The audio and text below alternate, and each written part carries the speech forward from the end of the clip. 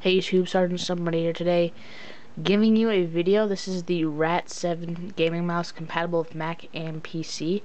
It's very nice overall. It cost me about $100 from the Mac store. As you can see, it has three different programmable modes. It comes with software you can use in a computer.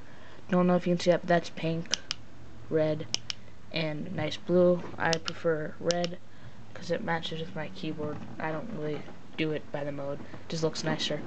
Uh, getting into the specs, it has a sideward mouse wheel here, forward, that button's Bluetooth, uh, right here on the side, that red button right here is the precision aim button, it slows down your mouse, page forward and page back. These two buttons are programmable, um, as you can see right here, you can adjust the pinky, you can switch out this side here, and you can switch this out, um, bringing these you to here, which come in a nice carrying case, shown here. Right here we have a weight case because yes, this mouse does come with weights uh, that you can take out from the bottom. So now getting into a sort of getting the mouse, I guess, adjusted. Here's the bottom. It's nice steel, not steel, but it's metal and it's, it feels nice. Uh, it seems like they use a bit of a cheap plastic, but it has a really nice feel to it. Um, you can see here, just gonna adjust the weights. Um, all you do you spin that out and you spin this out here. If I could spin a bit quicker that would really save us some time. But okay so.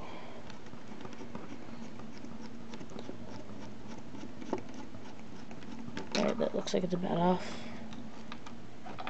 And in here we have our weights as you can see.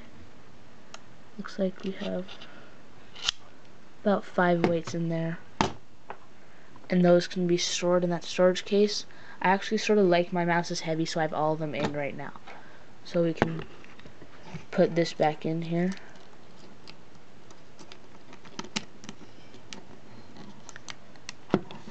And yeah. Um, another thing is this is actually this mouse can go very fast. Um, it has its own preferences for the speed. You don't have to go into the control panel or anything um, the difference between all these things on the back, the palm rest here, as you can see this one sort of has a little bit of a texture to it. This one's the regular default one. It has like a bit of measurements on there.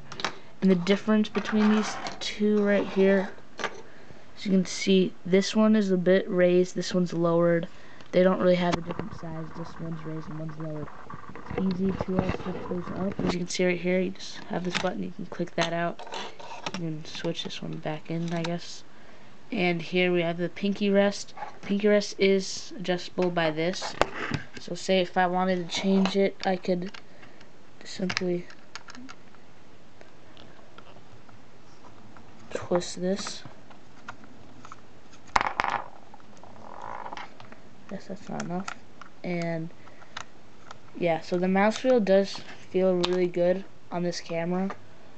Um, not camera, on this mouse. And as you can see, here's a textured pinky rest. This is the regular pinky rest. And as you can see, I have the one where I could actually rest my pinky on it, which is what I prefer. And there's just one little screw. This is a really important screw right here, because this is sort of what keeps that on. Um, it looks like these screws are replaceable, though I think I did see a bit of a parts kit on their website.